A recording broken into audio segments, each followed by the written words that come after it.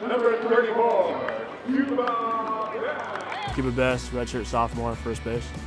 I chose GCU because uh, I like the area. You know, Phoenix, uh, good, really good baseball area. I love the Coach Stankiewicz, Coach Wallace, and new Coach Dorman was coming in, and I knew that this team was going to be really good coming into the future, and I knew they had a lot of success in the past. I wanted to be a part of something special, and I knew this place was going to continue to grow.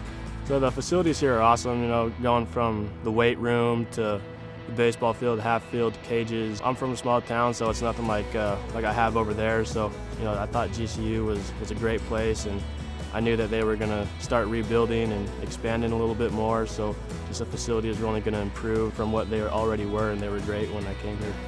So my ultimate career path is to be a police detective, work in the law enforcement. I had a lot of family working in law enforcement. I feel like it's a good career path for me, you know, just to keep uh, the community safe. And, you know, it's something that's bigger than myself, being able to just be, be a part of a community and a workforce that, that wants the best for the community and for the people around them is something, best path for me to take.